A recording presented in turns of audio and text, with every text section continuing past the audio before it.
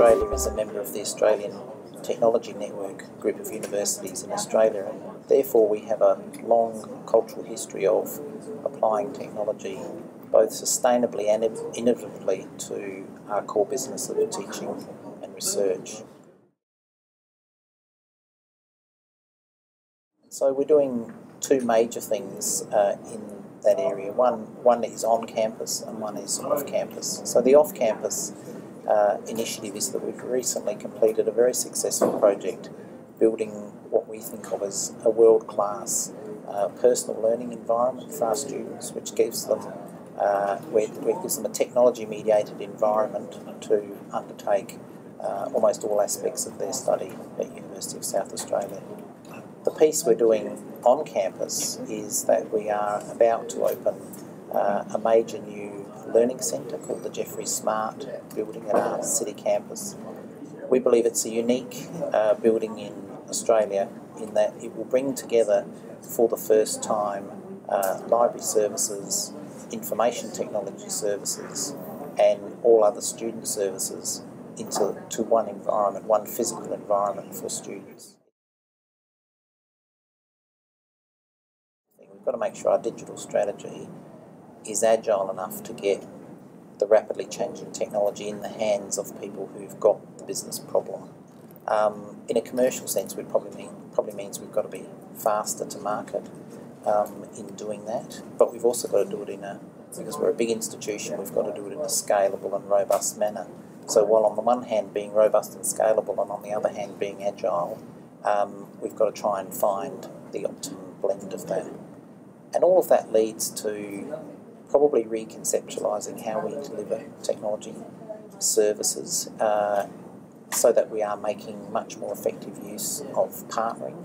Um, for example, that partnering might be within the institution with business, with our business colleagues. It might be with vendors. It might be with third parties. It might be with organisations like AARNet, where where we might not be providing much of the technology or much of the solution, but we're in fact engaging others to provide that solution.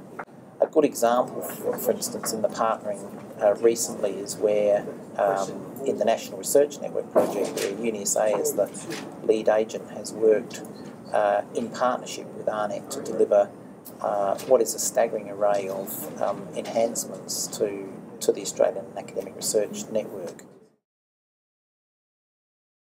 increasingly all, all organisations, um, big and small, need to be able to analyse the data they've got to um, service their customers. So, so actually, in, in first answering that question, um, UniSA as a sort of an educator of the professions is responding to the need to provide that sort of expertise to organisations. And uh, just recently, we've announced a suite of programs, um, including a Master of data science, which is aimed at providing some expertise, uh, aimed at giving uh, people expertise to go into uh, jobs such as data scientist or business analyst. We recently held uh, a major crowdsourcing uh, initiative. We have a very new and uh, innovative vice chancellor, and one of the first things he wanted to do was connect with our customers, our students, connect with our staff, and connect with our community. So over a period of 38 hours, it was a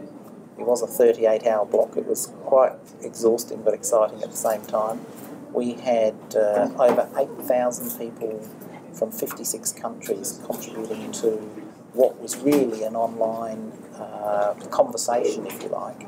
Uh, something that's never been done in it's never been done in Australia and it's never been done in a university anywhere in the world. Um, and we ended up with about 18,000 posts uh, in that online environment of ideas and, and suggestions that were raised. And so, in analysing all of that data, we've used that, Vice Chancellor's used that very much to drive uh, the university's new strategy. The university is quite lucky in a way in that um, we've been in, into the data warehousing business now for more than a decade, and therefore the university has ready access to almost all of its corporate data. So we're actually very used to mining data and using that data to both improve the operation of the university, whether that's in teaching or research, but also to improve the student experience. To be honest, I think it's still the rapid changes in consumer technology. Uh, when you think that all that's happening in the hands of our key customer, which are students, um, they now have, uh, you know, on average about three devices, uh, three internet-capable devices that they will bring on campus. Um, they very much um, do not separate their uh, social life from their work life, from their education life, and they, they actually have a very sort of contiguous sort of technology environment themselves, and they bring that onto campus. And I use I use the phrase with um, within the university of um, we need to meet them on their device, um, and that's what they're looking for. They're not looking. I don't believe they're looking for a device to be provided for them. They're looking to be able to come into the university and plug in uh, to the university and take advantage of those services. So the drivers for me are that we are going to have to continually communicate with students about what it is and what they need and continue to innovate the services that we've got to make sure we're actually delivering what they need.